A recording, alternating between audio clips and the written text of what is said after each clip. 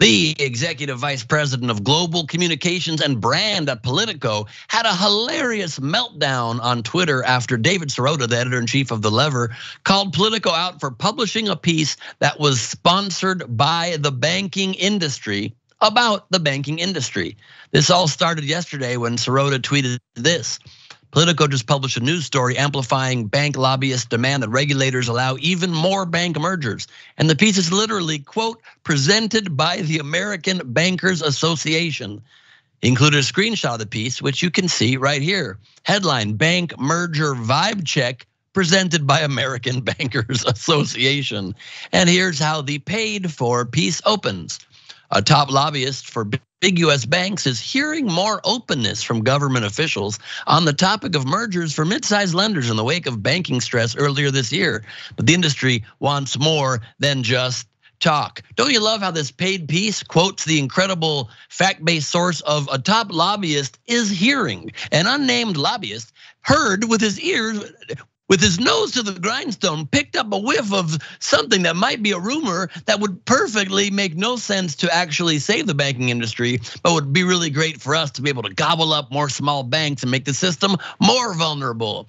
Breaking all logic, but helping us make more money for our big conglomerate banks. The piece also quotes the CEO of the Bank Policy Institute, or BPI, which is an organization that represents banks like JP Morgan, Goldman Sachs, Bank of America, and many more. The BPI has also spent thousands of dollars supporting corporate friendly politicians such as Kevin, always closes his eyes in orgasmic pleasure the way he ruins the country, McCarthy, and Hakeem Jeffries. Here's what Greg Baer, CEO of the BPI, told Politico.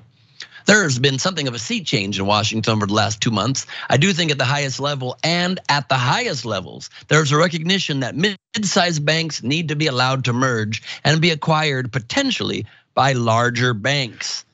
Brad Dayspring, the Politico exec, was not very happy with Sirota pointing out the obvious conflicts of interest in the piece, writing, Politico didn't just publish this story. It happened several days ago. Wow, what a great burn adding it's not a news story, it's a newsletter item in a newsletter that chronicles the cross section of Washington and Wall Street.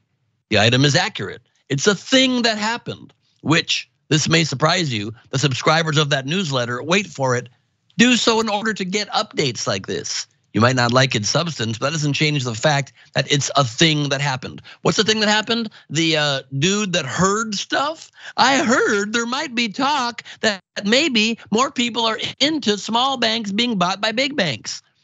He continued, You're an activist, and that's great. Do your thing. But don't just totally BS and lie to your own readers and followers. Stop with the faux outrage over a standard sharing of something that happened just to line your own pockets.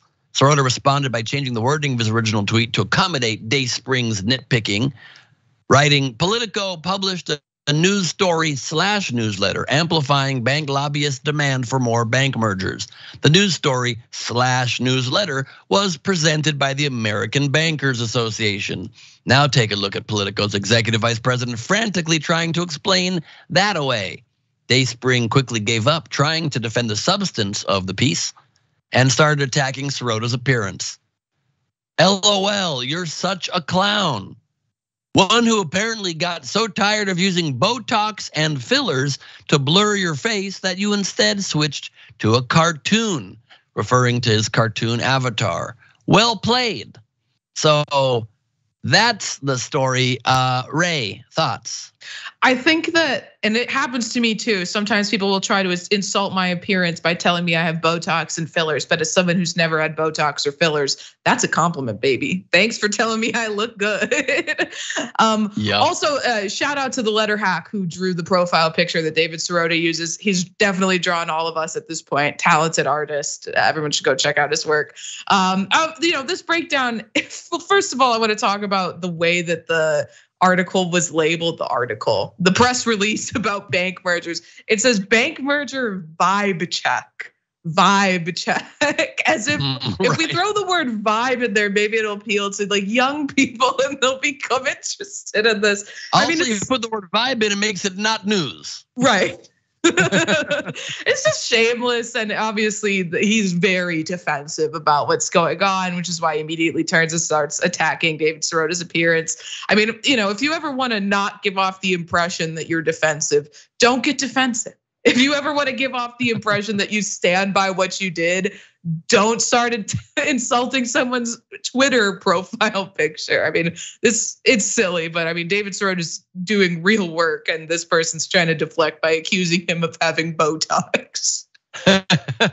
well, well said. Also, I'm now offended that nobody has ever accused me of having Botox or fillers. They're saying I don't look good, and now it deeply hurts. I thought that was like positive. Now I realize I need to work on my face. Maybe I can plump it up in some natural way. Farron, vibe check. What are you feeling? yeah, I, I mean, like trying to be young and hip, like, hey kids, is your bank capping. I don't I don't know the I don't know the lingo. I don't know what I'm doing. Why I even said that. But uh, I will say actually, Ray, I'm a little upset. I was totally waiting to do that. Shout out to the letter hack and uh, but but no, awesome dude. Matt is great. Please everybody support him. He's amazing. But it, it's it's the meme. I mean, this this little article thing they put out is the meme. Like, did a bank write this?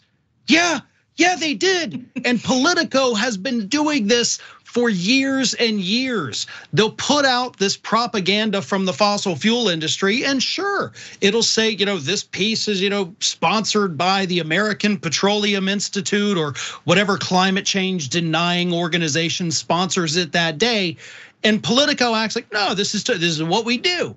We're totally cool with it because apparently it's a newsletter, which isn't actually news, in spite of the fact that it's called news letter.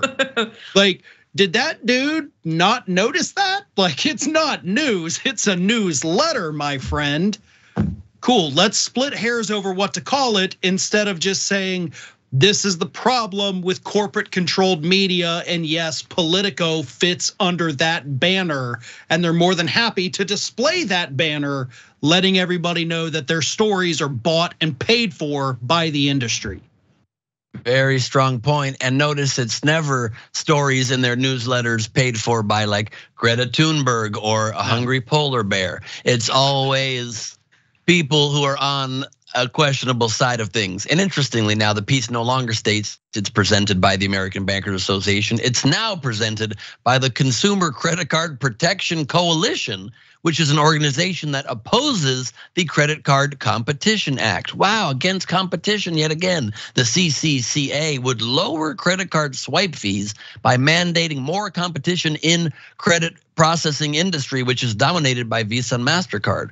For reference, the European Union has capped credit card swipe fees at 0.3%. Visa and MasterCard both had a swipe fee of 2.2% in 2021. According to the Merchants Payments Coalition, swipe fees drove up prices for the average American by at least $900 in 2021. So, of course, let's have Politico taking stories now being sponsored by the people opposing saving Americans money and having reasonable swipe fees.